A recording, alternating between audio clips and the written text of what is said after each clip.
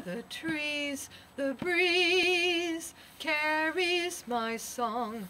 The tree of life returns, returns again. I sing for the trees, the breeze carries my song. The tree of life returns, returns again. I sing for the trees, the breeze carries my song. The tree of life returns, returns again. I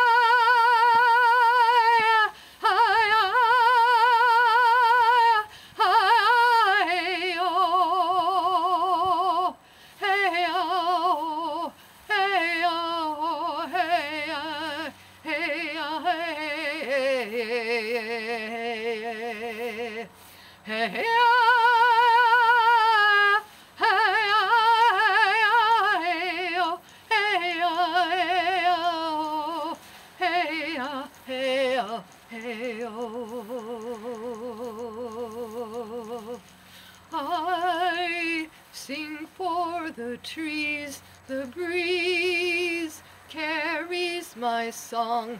The tree of life returns, returns again.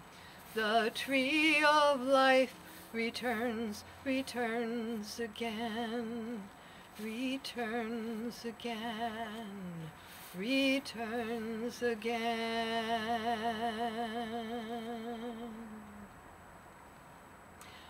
Hi, I'm here at my home in Malvern, England, and in back of me is the tree I see from my window every morning when I wake up.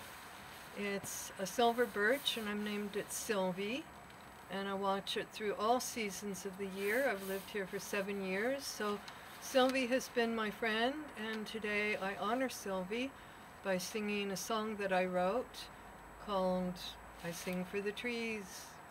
The Tree of Life returns again. I'm Susan Hale. You can call me Susie. I sing for trees. I've been singing for trees for a long time. And I also just want to share, and that was a song that I wrote, but I want to share just what it would sound like for me tuning into Sylvie. So I'm going to take a moment to face Sylvie and just feel her energy.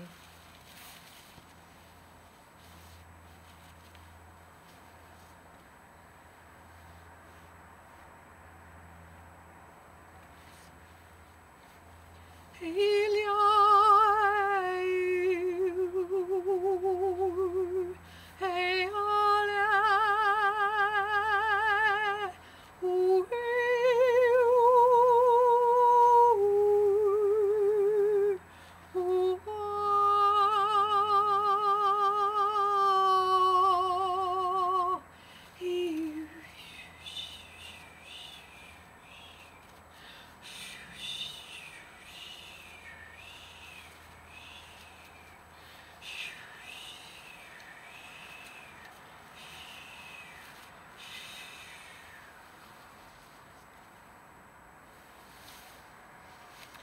I sing for Sylvie, I sing for all trees.